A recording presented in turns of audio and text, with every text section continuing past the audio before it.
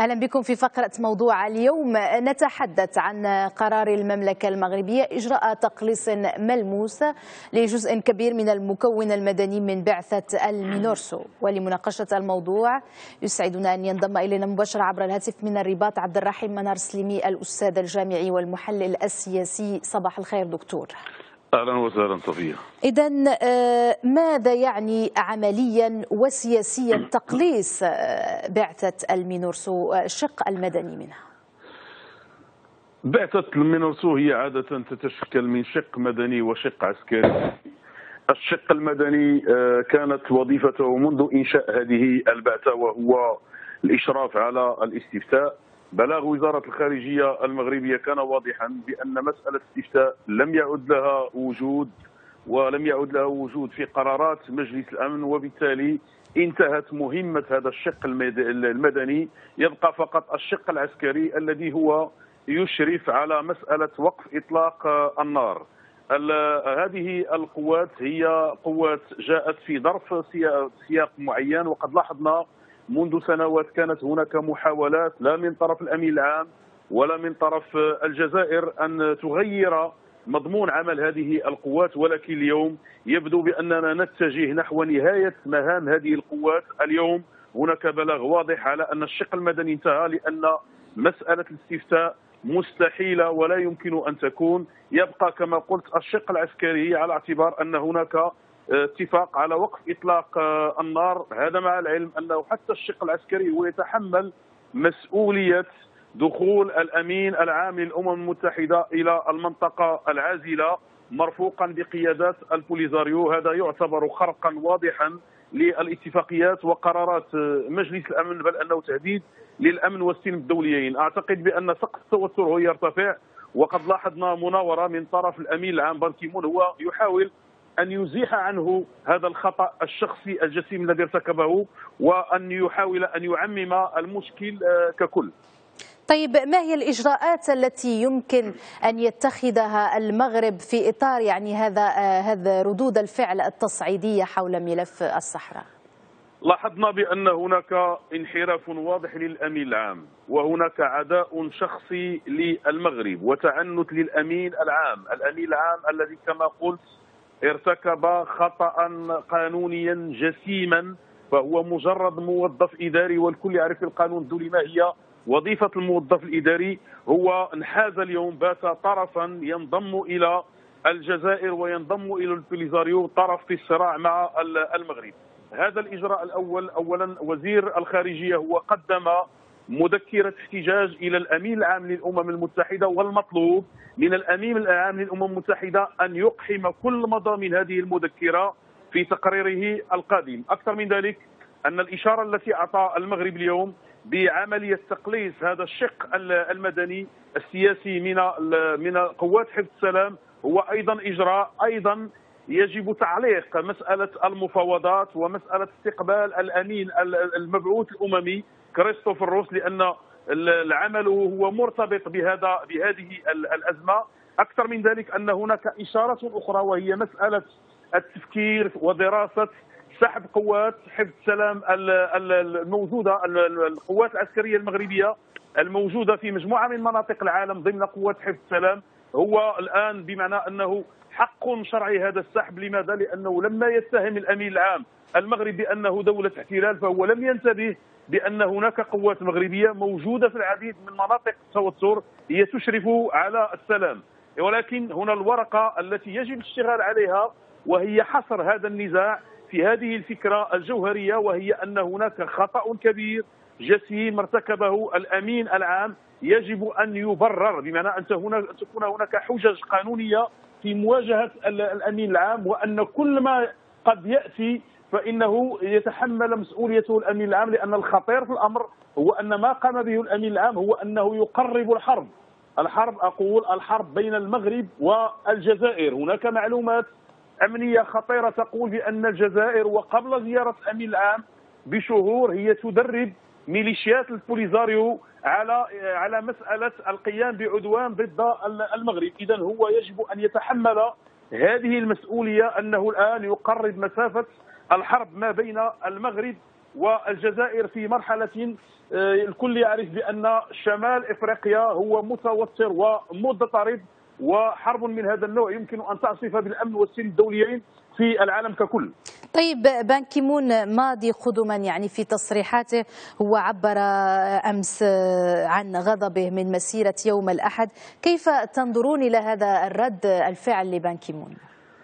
لاحظي معي اولا بأن آه، هناك آه، بمعنى أن بان كيمون يحاول أن يبرر تصريحاته من داخل مخيمات الرابوني بأنها رد فعل شخصي ولم يحدث في تاريخ الأمم المتحدة أن كان هناك أمين عام يقحم المسائل ذاتية مع مسائل موضوعية بمعنى أنه له مرجعية وكل تعبيراته الشخصية يجب أن يحتفظ بها إلى حين إلى حين أن يغادر المنظمة. أكثر من ذلك أنه يتحدث وهنا حسب تصريحاته عن خيبة أمل وغضب بشأن المظاهرة. يبدو بأنه لا يعرف شيئا بأن ليس هناك أمين عام. نزل إلى هذا المستوى ويتحدث عن مظاهرة شعبية عفوية خرجت في الرباط بمعنى أن هذا أمر مغربي يتعلق بالأمة المغربية لا يمكن أن يتدخل فيه لا بان كيمون ولا غيره. ثم الإشارة التي هي خطيرة أن بان كيمون ارتكب خطأ آخر لما طلب توضيحات بخصوص خروج أعضاء الحكومة المغربية في التظاهرة.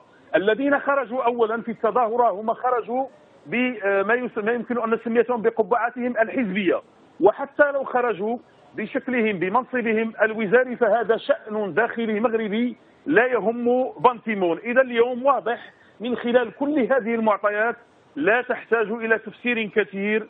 بنتيمون في نهاية ولايته هو عقد صفقة مع الجزائر. هذه الصفقة يجب أن نتابعها ولكن الخطير هو أنه عقد صفقة شخصية أو صفقة قد تكون لفائدة دولته لأن مساره من يعرف بأنه دولته دفعت العديد من العقود لكي يصل إلى هذا المنصب وارتكب هذا الخطأ الجسيم في هذه المرحلة. يجب أن يظل النقاش القانوني مع خروج آه، الأمين العام عن المرجعية القانونية عن ميثاق الأمم المتحدة.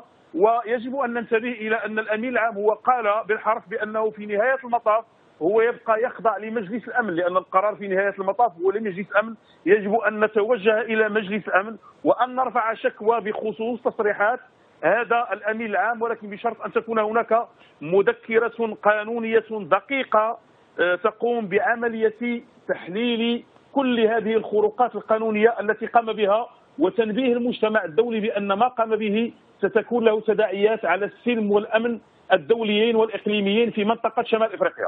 طيب نلاحظ كيف تطورت التصريحات الآن إلى مواقف آه، تصعيدية، هل تتوقعون أن يؤثر ذلك على العلاقة بين المغرب والأمم المتحدة بخصوص المفاوضات حول ملف الصحراء المغربية؟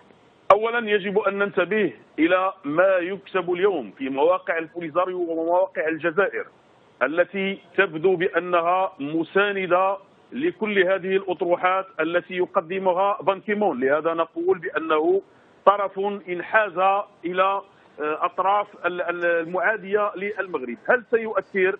المطلوب الآن لا أعرف مضمون المذكرة التي قدمها وزير الخارجية المغربي لبان كيمون ولكن المطلوب أن تكون مذكرة مفصلة بدقة عن كل الخروقات التي ارتكبها بان كيمون خلال زيارته لمخيمات الرابوني وزيارته للجزائر وتصريحاته العدائية وزيارته إلى المنطقة العازلة ودخوله مع قيادات البوليزاريو. كل هذه المسائل هي خروقات قانونية. يجب أن تكون مد... م... هذه مذكرة وأن أن يكون هناك ضغط من أجل أن يكون مضمون هذه المذكرة داخل التقرير القادم. أكثر من ذلك يجب التوجه بالشرح إلى أعضاء مجلس الأمن الخمسة الذين يؤثرون ويجب الانطلاق من التصريحات التي كان يقوم بها مندوب فنزويلا داخل مجلس الأمن الذي هو أطلق وحاول أن يفرض أجندة الزياره زيارة بان كيمون على على على المغرب. يجب الانتباه إلى كل هذه الخروقات وأن تكون هناك مرافعة. لا يجب أن تنتهي إلى ما بعد أبريل. أكثر من ذلك يجب أن يستمر في نفس الوقت هذا الضغط الشعبي وهذه آه، التعبئة لأن العالم اليوم كله يعرف بأن المنطقة أتحدث عن المنطقة في حالة ما إذا كان هناك خطأ في ملف الصحراء سوف يتعرض الأمن والسلم الإقليمي كل برمته إلى تهديد خطير. طيب الآن كيف تنظرون إلى وضع المغرب؟ هل يوجد في موقع قوة وفيما يتعلق طبعا بالتطورات حول ملف الصحراء؟ هناك أزمة وهذه الأزمة فيها مجموعة من الفرص. الفرصة الأولى وهي كما قلت أمين عام ارتكب خطأ جسيما. أمين عام عقد صفقة مع الجزائر. الجزائر التي أرشت الاتحاد الإفريقي كله هي في نفس الوقت عقدت صفقة مع الأمين العام. المغرب هو آخر بوابة أمنية في منطقة مستقرة في شمال إفريقيا وهذه المسألة يعرفها الأوروبيين جيدا وتعرفها الولايات المتحدة الأمريكية التي تراجعت عن المسودة التي كانت في سنة 2013 عن طريق تقرير كان قد أعده البنتاغون آنذاك يقول بأن آخر بوابة تضمن الأمن لأوروبا ولحلفاء الولايات المتحدة الأمريكية هي المغرب. إذا هناك فرص التي يمكن أن يوظفها المغرب. أكثر من ذلك لا يجب أن يقلب الأمين العام الأزمة تجاه المغرب لأن الأمين العام هنا يحاول أن يجعل الأزمة هي بين الأمم المتحدة والمغرب ولكن الأزمة هي بين المغرب وبانكيمون والجزائر والبوليزاريو. إذا هنا يجب أن يحصر النزاع في هذا الاتجاه. هناك فرص متعددة ولا أعتقد بأن الدول الكبرى ستغير مسار قرارها الذي كان القرار الأخير 22 18 الذي دعا إلى مسألة أن يكون هناك دعا البوليزاري والجزائر إلى مفاوضات. سيد عبد الرحيم نعم. منار سليمي عذرا للمقاطعة لضيق الوقت. شكرا جزيلا لك على كل هذه التوضيحات.